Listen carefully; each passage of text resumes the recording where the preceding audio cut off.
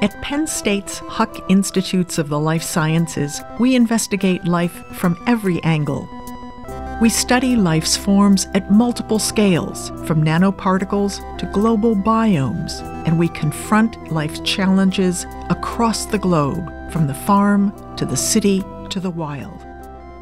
Welcome to the Huck Institutes of the Life Sciences, collaborative discovery brought to life. The Huck uh, facilities actually exist in uh, a total of six buildings. The new Sartorius Cell Culture Facility is the 12th of these cores, which are available to all Penn State researchers.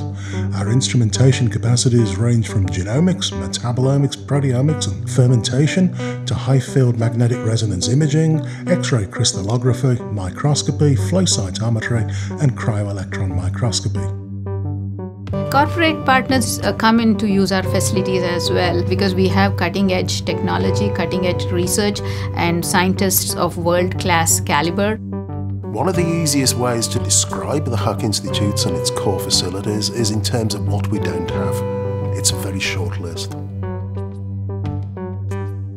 One area that we've wanted to take on in a bigger way at the Huck Institutes is cell culture. It's a critically important component in any modern biotechnology research. By growing cells in culture, we can expand our efforts across a wide range of fields. We can develop new drugs and genetic therapies, explore new biofuels, study the causes and effects of aging, study interactions between cells, viruses, and bacteria, and on and on. We can also study the growth of cells in large populations, including in bioreactors, where increasing production efficiency means large gains in cell based medicines, including vaccines and new cancer therapies.